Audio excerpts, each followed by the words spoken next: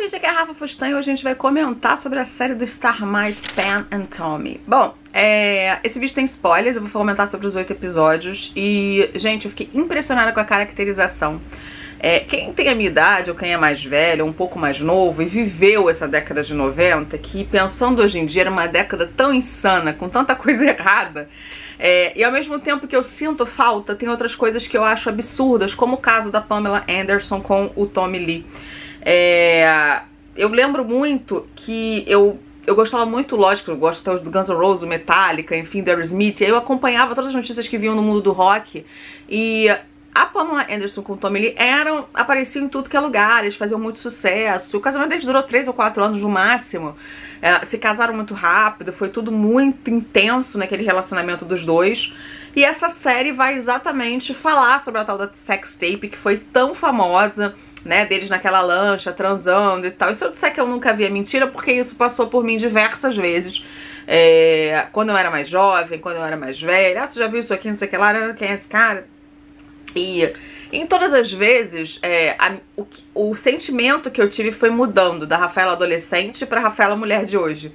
É, eu acho que tinha uma grande carga ali nessa história de que porque ela era uma atriz extremamente sexy, que tinha posado 14 vezes para Playboy, ah, uma mulher que, que usava e abusava do seu corpo, ou melhor, corrigindo para hoje em dia no que eu penso, uma mulher que tinha o seu corpo usado e abusado, né, pela indústria, por todo mundo, né, e enfim, né, acabou se acostumando a isso, é, ela teve a ferocidade dela invadida. Posar nua é diferente de ser filmada fazendo sexo.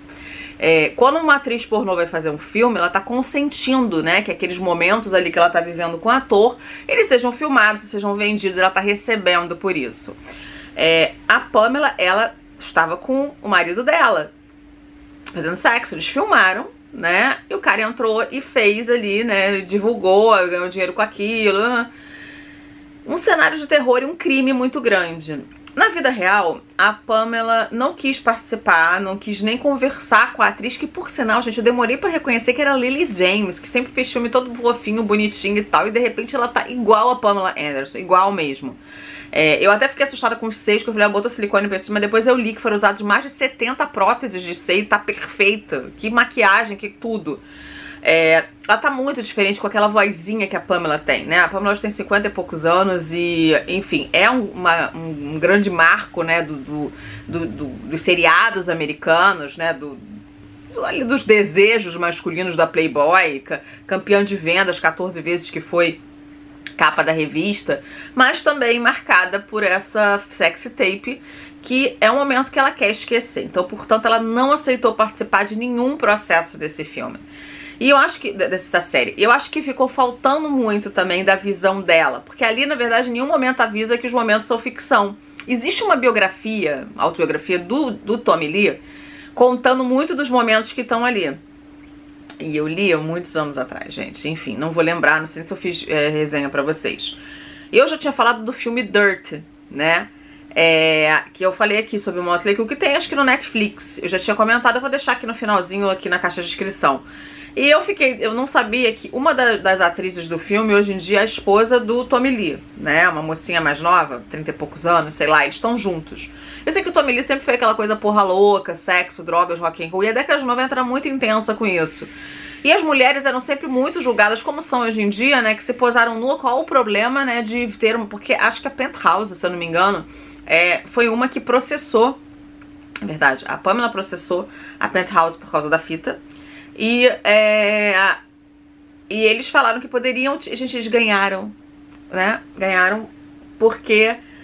Na, na justiça, porque afinal de contas ela já tinha posado pelada para eles e então eles tinham direito de imagem dela. Só que uma coisa, repito, é posar nua, a outra com consentimento, e a outra é você ter a sua é, relação sexual exposta.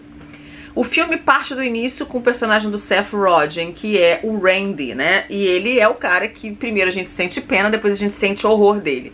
Por que não sente pena? Porque ele vai trabalhar na casa do Tommy Lee, ele tá fazendo uma obra gigante, tem outras pessoas ali trabalhando, e o Tommy Lee não vai pagá-lo. Vai ser extremamente babaca com ele, vai dizer que não vai pagar. Daquele dia eu vendi 50 milhões de cópias, aquele jeito, né? Bem metido, bem uh, ego inflamado de rockstar. Da década de 80 e 90, porque eles podiam tudo e achavam que eram donos do mundo. Hoje em dia a gente não tem mais essas bandas, né, gente? Porque tanto que o Rock in Rio é todo composto de bandas daquela época, que era da minha, meu, da minha adolescência, infância. Enfim, e a gente vai ter pena no início dele, mas depois a gente vai ver que ele é um tremendo escroto, porque ele vai roubar um cofre que, entre outras coisas que estão ali dentro, né? Ele queria, na verdade, as joias da Pamela e queria é, o dinheiro do Tommy Lee para dividir ali com um amigo e tal, enfim. Só que acaba que ele fica com as coisas, ele descobre essa sexy tape e ele leva até um cara que é da indústria pornô. O cara tenta vender para diversos locais, mas ele não consegue porque, obviamente, aquela fita não era autorizada pelos dois que estão ali em cena. Mas aí ele consegue um, um, produtor e tal, e época de internet já tava começando, e aí ele joga na internet, e aí, né, filho feio não tem pai, aquilo se espalha, viraliza, e é igual hoje em dia, né, gente? Vazou qualquer coisa, você não consegue mais ter controle daquilo, você não sabe mais com quem tá. Ah, mas foi tirado o link, né? Ok, mas não tem mais quem já baixou. Quantas pessoas já baixaram? Quantas pessoas já assistiram? Então aquilo virou, assim, uma coisa e tal. E uma coisa que é negativa dessa história é que muita gente hoje em dia, jovem, ou quem não lembra, vai procurar essa fita de novo e assistir. Pra Pamela Anderson é claro que é horrível, porque ela não quer relembrar isso. Ela também não quer relembrar essa relação que pra ela hoje em dia é péssima, apesar dela ter retornado com ele, né, voltado com ele em 2008, 2009 e 2010, que ela ficou quase três anos de novo com esse cara, né? E o Lee não é boa bisca, gente, nunca foi. Sempre foi um cara muito porra louca, agressivo, bateu nela. Eles tiveram dois filhos juntos, né? O Dylan e o outro. Um desses filhos, inclusive, agrediu o pai anos depois. Não sei quem estava certo, né? Agressão não quer um lado, mas enfim, né? Muita, muita loucura ali naquela família. E e a vida deles, né, sempre foi muito intensa. Eu tiro o chapéu pro Sebastian Stan, porque ele tá absurdo como o Tommy Lee, com os trejeitos, né? As cenas que ele conversa com o pênis, que já foi explicado que aquele pênis não é dele, né, gente? Aquele negócio ali não é dele, é um pênis mecânico. São engraçadas, elas entram exatamente no contexto, mas é claro que para quem é mais sensível, né, mais puritano ou mais jovem, né, não recomendo que assista, é um, um, um produto para acima de 18 anos. Enquanto isso, a gente tem a Lily James perfeita como Pamela Anderson, passando ali por todas as dores e delícias de ser uma sex symbol. O encontro, por exemplo, em Cancún, só comem babando em cima dela, péssimo, né? Mas ela tinha que enfrentar. os produtores ali do SOS Malibu querendo que somente aparecesse a cena dela de maiô cavado, né? Mas que ela não tivesse nenhuma fala. Tudo isso a gente vai ver.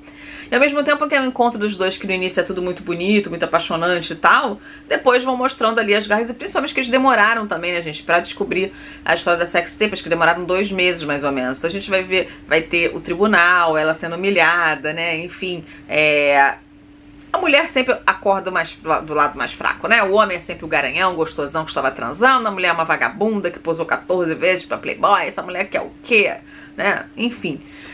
Eu curti muito, muito, muito a série. Eu acho que é uma série assim que tem os seus erros sim, por não cobrir a verdade, talvez, né, dos dois, ou então os lados dos dois. Deveria anunciar que não é uma série, é uma série biográfica mais inspirada em ficção sem autorização, né, ou seja, não autorizada.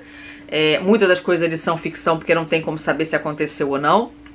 Mas o, o, o básico ali da história tá ali dentro.